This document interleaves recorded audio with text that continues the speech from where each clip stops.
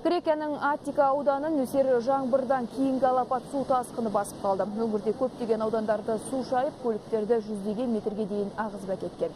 Табиғаттың тосын мінезінен әсіресе Афина мен Пирей қалалары зардап шекті. Мұнда мамандарға көмек сұрап 600-ге жуық қоңырау түскен. Құтқару жұмыстарына 250-ден астам өрт сөндіруші мен 80 арнайы техника жұмылдырылды. Грекия премьер-министрі Антони Самарас шұғыл жиын өткізіп, қаржы министрлігіне зардап шеккен тұрғындарға қаржылай көмек көрсетуді бұйырды. Қазір жергілікті билік апаттан келген шығынды есептеуге кірісті.